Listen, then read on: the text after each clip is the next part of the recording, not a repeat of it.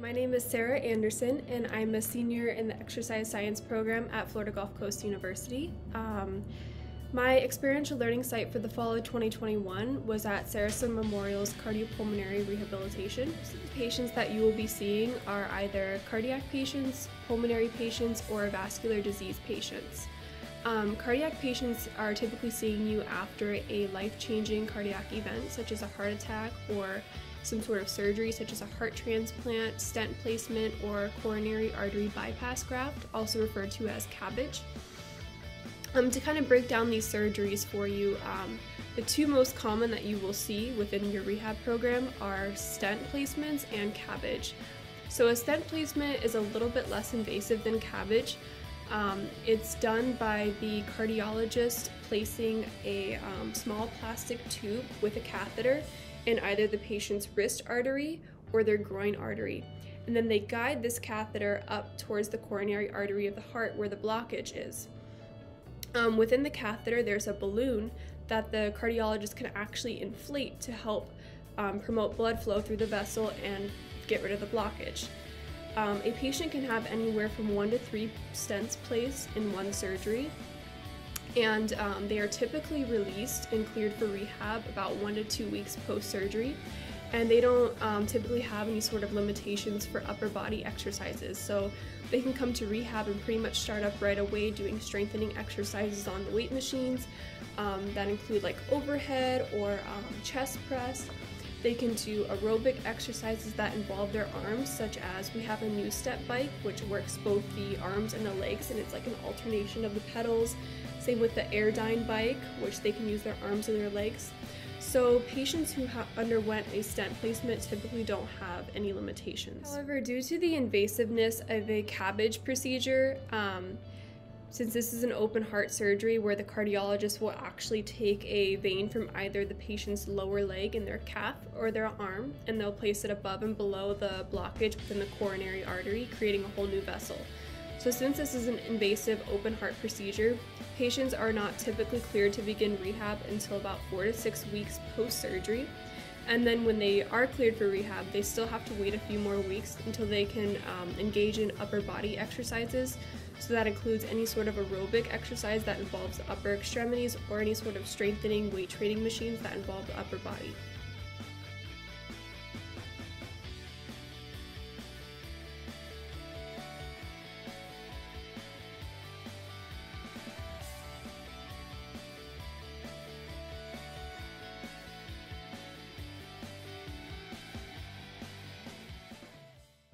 Okay, so here's a look at our facility. We have tons of aerobic equipment like treadmills, recumbent bikes, upright bikes, NuSteps, Airdyne cycles, ellipticals, arc trainers.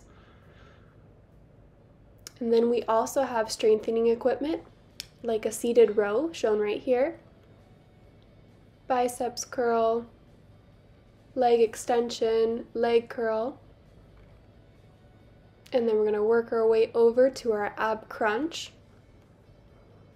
And then our chest press, shoulder press, triceps press, and our lat pull down. In the cardiac patient's initial evaluation process, the exercise physiologist will meet with them for about an hour and go over important baseline measures such as the patient's height, their weight, their BMI, and their body fat percentage, which is assessed using a bioelectrical impedance analysis device.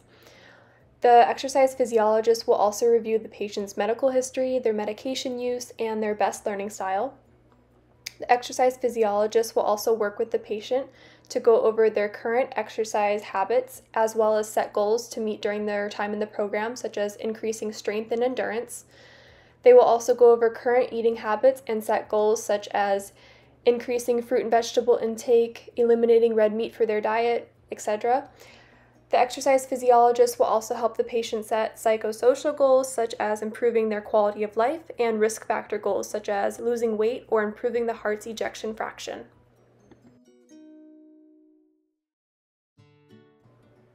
After the patient completes their initial evaluation process, the exercise physiologist will send them home with a packet of surveys that assesses the patient's emotional health, their quality of life, and their nutrition habits.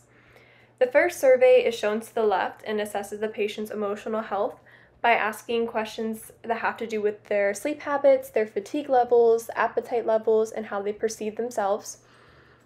The second questionnaire assesses the patient's quality of life by asking things such as their physical fitness levels, their feelings, their pain levels, the amount of social support that they receive at home, how often they engage in social activities, and their overall health. And the final questionnaire assesses the patient's daily eating habits and asks questions such as their fruit and vegetable intake, how often they consume sweets and processed foods, what type of fat that they use in their cooking, their cuts and types of meats, and what dairy products they use. A patient will complete a pre survey to obtain baseline values after their initial evaluation process, as well as a post survey right before they are discharged to assess their change in their emotional health, quality of life, and nutrition habits during their time in cardiac rehab.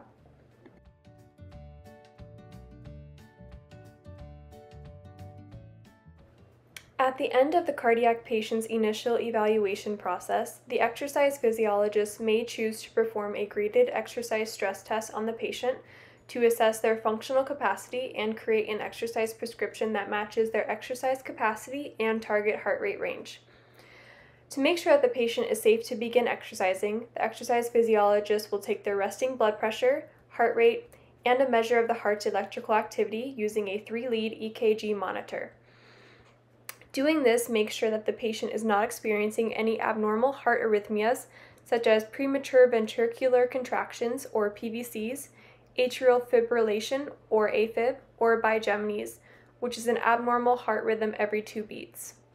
The three graded exercise stress tests that we use at our facility are all on the treadmill, and they are the Bruce Protocol stress test, the Modified Bruce Protocol stress test, and the Naughton Protocol stress test. The modified Bruce protocol stress test and the Naughton protocol stress test are beneficial for individuals and populations with a reduced exercise capacity due to their gradual increase in the speed and incline on the treadmill. On the patient's final cardiac rehab session, so their 36th session, we will give them a piece of paper that has a front and back as shown here on this slide. The front side has recommendations for the patient to follow for exercise once they are discharged from the program to practice at home. So we recommend for them to aerobically exercise on 4 to 6 days per week following their target heart rate range or an RPE of 11 to 14 for 30 to 60 minutes at a time. We also recommend strength training 2 to 3 non-consecutive days per week and daily stretching. And then we recommend for them to continue to consume a whole food, well balanced, plant based diet. And then on the back side of the sheet, we show them how their measurements are from their initial evaluation session to their final discharge session. We compare their initial and final weight, body fat percentage, and their BMI. We also do waist circumference and their MET level, which is measured by how many stages they reach on their exercise stress test.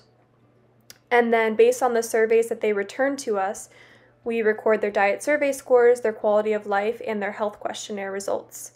And then on the bottom of the page, we write down what they were doing in rehab as their exercise prescription so that they can follow it once they are discharged and are exercising at home or at a gym.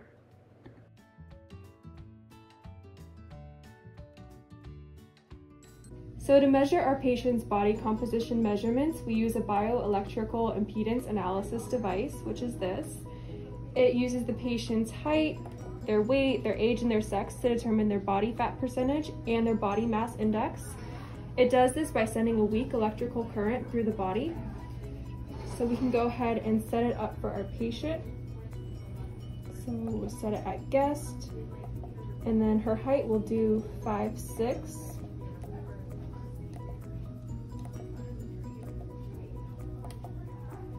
And then she's 190 pounds.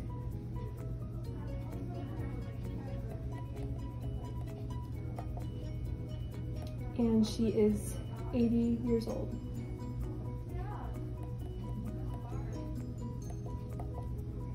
Okay, and she's a female, so we'll change the sex.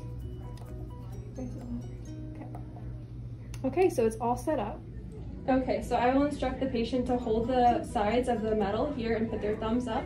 And they're gonna hold it out in front of them like this, and it will send the electric current through their body. So you can go ahead and We'll hit start.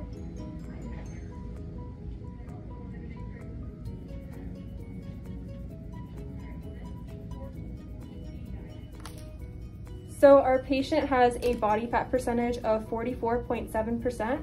Typical acceptable ranges are anywhere from 20 to 30%, so she is a little bit on the high side. And her BMI is at 30.2, which is very high. The Bruce Protocol Stress Test is the graded exercise stress test used on cardiac patients at SMH to measure their functional capacity. It assesses both the patient's cardiovascular health and their aerobic capacity. Cardiac patients will perform both a pre and a post Bruce protocol stress test to determine if their exercise capacity improved during their time in rehab, which is measured by an improvement in the number of stages reached on the protocol. The Bruce protocol is divided into three minute stages, starting at a stage 1 at 1.7 miles per hour and a 10% incline, stage 2 at a speed of 2.5 miles per hour and a 12% incline, stage 3 at 3.4 miles per hour at a 14% incline, and stage 4, which is the speed of 4.2 miles per hour and a 16% incline.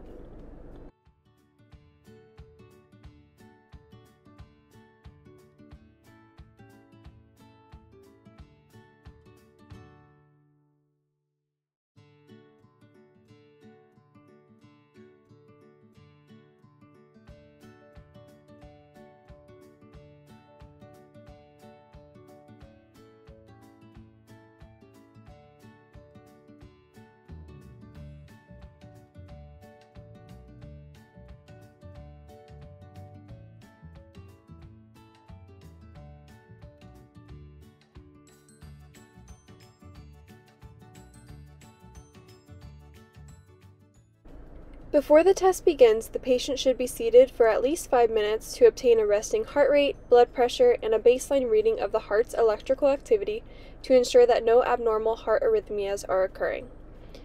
During each 3 minute stage of the test, one exercise physiologist will record an exercise blood pressure on the patient, while another exercise physiologist will sit behind the EKG monitor and record the patient's heart rate and heart electrical activity.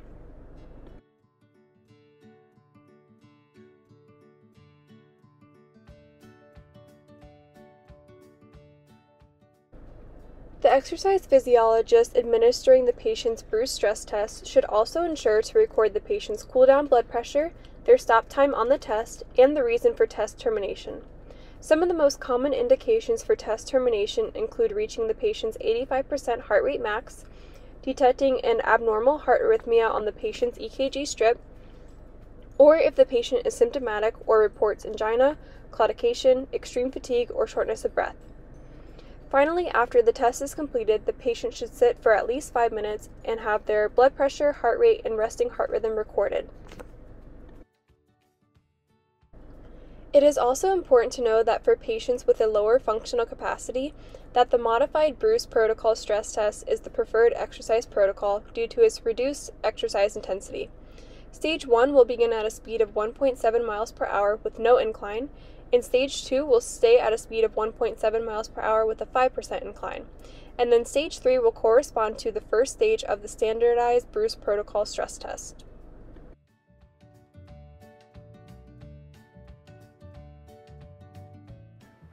Pulmonary patients beginning rehab at SMH are beginning rehab after being diagnosed with a chronic lung disease such as chronic obstructive pulmonary disease, asthma, bronchiectasis, cystic fibrosis, emphysema, or pulmonary fibrosis.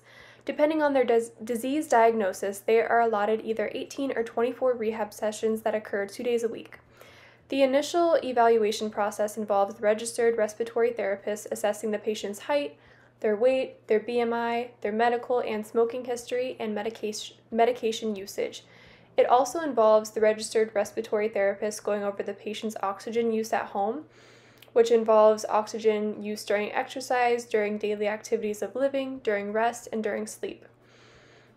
It also involves the registered respiratory therapist going over the patient's current exercise habits as well as helping them set exercise goals, such as feeling less short of breath upon exercise. It also goes over the patient's current eating habits and helps them set nutrition goals and psychosocial goals and risk factor goals. Risk factor goals can include how the weather affects their breathing and how often they use a rescue inhaler. After the pulmonary patient's initial evaluation session, the registered respiratory therapist will send the patient home with a packet of surveys. The first three surveys are the same as the cardiac patient surveys, which assesses their emotional health, the patient's quality of life, and their nutrition habits. The last two surveys are different between pulmonary and cardiac patients, in that pulmonary patients will complete a shortness of breath questionnaire which has them rate the level of breathlessness that they experience when performing or if they were to perform certain tasks, such as walking up a flight of stairs, mowing the lawn, dressing, brushing their teeth, etc. And the COPD assessment questionnaire measures the impact that the patient's pulmonary disease is having on their daily life and is shown in this picture here to the left. On the pulmonary patient's final rehab session, they will be given a discharge sheet as shown with the front and back, and it's very similar to the cardiac one that I explained earlier. The only major difference is that the pulmonary patients have a walk test outcome on their sheet, which is determined by the distance walked on their six minute walk test, and we hope to see an improvement in this. We also have the disease assessment score and the shortness of breath score that is assessed by the patient's pre and post surveys.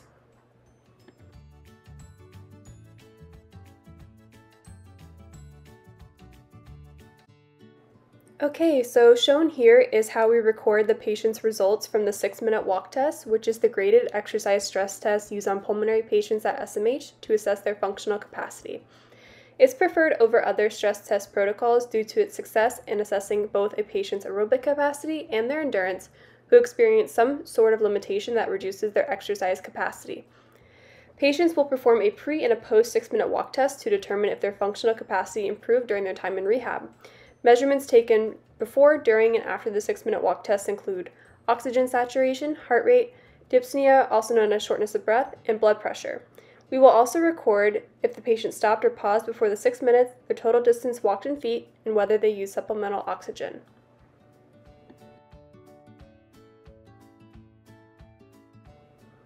Okay, so shown here is a Borg scale ranging from 0 to 10 that helps patients rank their shortness of breath levels during the 6 minute walk test.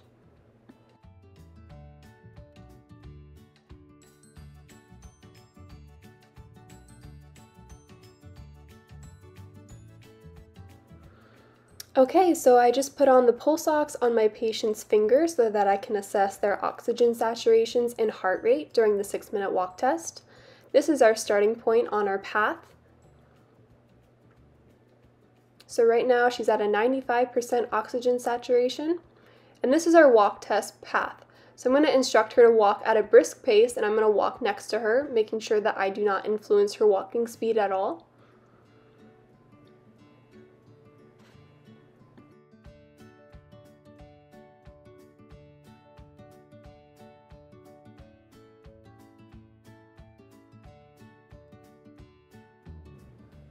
Okay, so as we pass the water fountains, we're gonna end our first lap, turn around, and begin our second lap.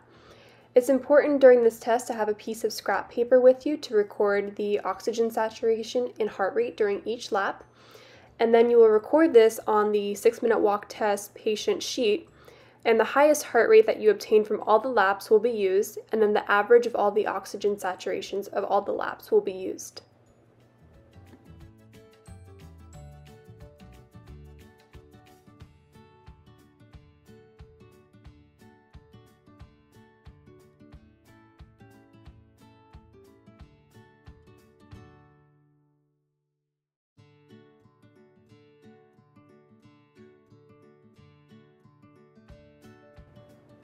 So as you can see here, her oxygen saturation and heart rate are staying pretty steady, which is a good sign. There's no need for us to stop the test prematurely or anything, so we would go ahead and let her continue for the rest of the duration of the test. Now, if her oxygen saturation fell below 88%, we would stop the test and have her use supplemental oxygen because healthy oxygen values are 88 to 100%.